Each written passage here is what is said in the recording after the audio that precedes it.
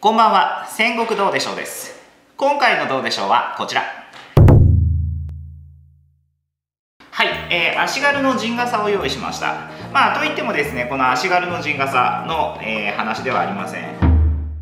今回はですね9月から始まる NHK の新ドラマ「えー、足ガール」というドラマについてですねやっていきたいと思います。で、えー、原作が少女漫画ということで、まあ、漫画喫茶で、えー、読んできました。買ってません今回は。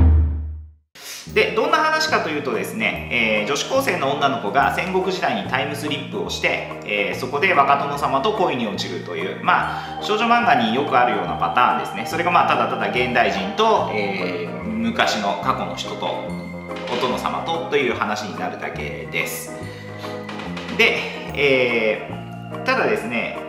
まあよくある話で、まあ、戦国武将と入れ替わるというのはあるんですが、まあ、名もなき、えー、足軽になって、えー、若殿様と接していくという話ではあるので中心がですね足軽の話がメインになってきます。まあ当然足軽ですので、まあ、鎧も買えないような身分ということで、えー、鎧も貸してもらってるまあ面白かったのが舞台ごとによってその足軽の、えー、貸してもらう鎧が違うと。えー、いうこともあるし、まあ、家ごとに当然ねあの女城主の青虎のこの後もそうですけどいい家は赤備えと、まあ、その家だと赤色の鎧を着なきゃ、まあ、甲冑を着るというルールある程度のルールがあるんですが、まあ、そういったところのその分類はきちんと描かれてはいました。ただですねちょっと残念なのが、えー、そこまでやるならそこまで書くならあの設定をしない方が良かったんじゃないかなというところが一つあってえー、それがですね、えー、っと話的には A62 年からの話なんですよ。しっかり A62 年って出ちゃうんですね。で A62 年っていつかというと、えー、1559年ですね。桶狭間の1年前です。にもかかわらず 立派な石垣と立派な天守を持ったお城が出てきちゃうと。まあその辺りはドラマになった時の時代交渉でもう少し入れ替えがあるのかなと。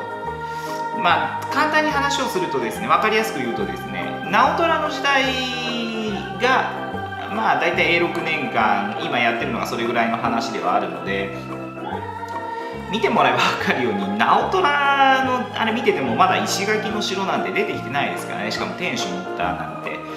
ちょっとその辺りはドラマになって改善されてるとよりあのリアリティが出て面白みが出るんじゃないかなと思います。ただまあ完結してない話ではあるのでどこかでいいところで区切りをつけて終わると思うんですが、えーとまあ、よくある行きっぱなしとその戦国時代に行きっぱなしという話ではなくてですねえー、行ったり来たりと、えー、主人公の女の子も、えー、行って帰ってという話ではあるので、まあ、それをやるのが、あの青色の猫型ロボットではなく弟くんと。まあ同じような役割をするんですが、まあ、弟くんの秘密道具を使ってですね、えー、なんとか乗り切っていくという、まあ、話です。まあ時代劇として半分エンターテインメントとしてみたいな感じで楽しめるドラマだと思いますので、えー、期待して9月を待ちたいと思います。